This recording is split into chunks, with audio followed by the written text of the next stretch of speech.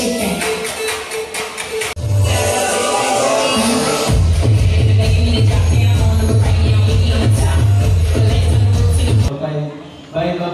ya, tapi jangan salah ya. Setelah ini ada orang yang lebih keren lagi ya. Mau tahu siapa? Langsung saja.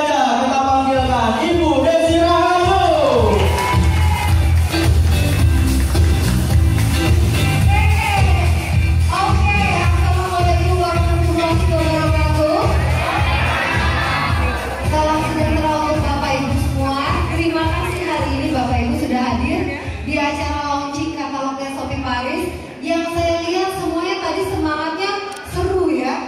Semangatnya menggebu-gebu nih karena semangat Bapak Ibu semua. Ini yang membuat juga Shopee Paris lebih